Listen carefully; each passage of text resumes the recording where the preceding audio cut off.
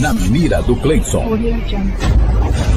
Apoio Jacimar Cabral, massoterapeuta. Agende agora mesmo. 999448228. Tomate, locação e prestação de serviços. Locação de andaimes e bitorneiras. Fone 99645 1599. Primos. Supermercado Top Prêmio. Os melhores preços todos os dias. Aqui no Alto da Boa Vista.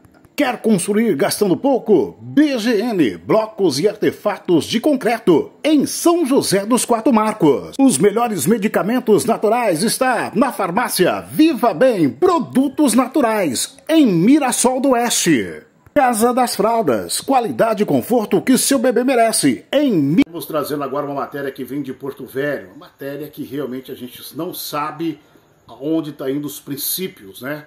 De pai e filho, filho e pai, família. Filho atira contra o próprio pai em Porto Velho. Veja, reportagem do Rondônia ao vivo, direto para o canal Na Mira do Cliente.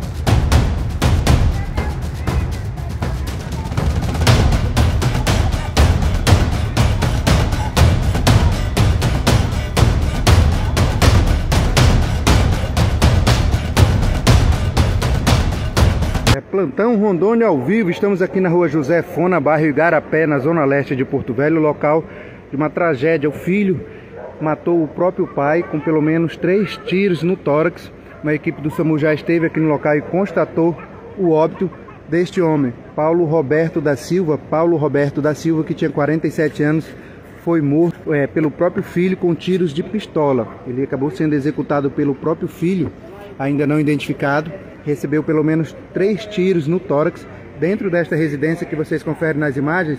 E um dos policiais, um sargento da Polícia Militar, está isolando o local para os trabalhos da perícia criminal e também do rabecão do Instituto Médico Legal. É, os socorristas do SAMU, uma equipe médica, veio ao local e constatou, infelizmente, a morte deste homem, Paulo Roberto da Silva, a informação que a gente recebe é que o criminoso, o filho, já foi preso por policiais militares da Força Tática e também do 5 Batalhão, aqui mesmo na região da rua José Fona, bairro Igarapé. Uma discussão, não sabemos ainda o motivo, vocês podem ver a arma, o armamento aqui foi apreendido já pelos policiais militares do 5 Batalhão da Força Tática aqui do setor Rua José Fona, bairro Rua José Fona, bairro Igarapé é o local. O filho então matou o próprio pai com tiros, os policiais apreenderam já o, o, o armamento, já está apreendido.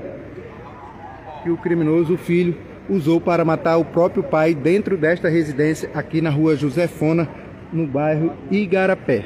Os policiais agiram rápido e conseguiram, vocês podem ver, muitas viaturas aqui no local. Viaturas da Força Tática do 5 Batalhão. Também vieram socorristas do Corpo de Bombeiro. Corpo de Bombeiros e SAMU aqui no local mas já foi constatado o óbito deste homem. Paulo Roberto da Silva, 47 anos, é o nome da vítima. E a informação que a gente recebe então é que o, o, o autor do crime já foi preso, está dentro do camburão da Polícia Militar aqui na rua Josefona, no bairro Igarapé. O filho então matou o próprio pai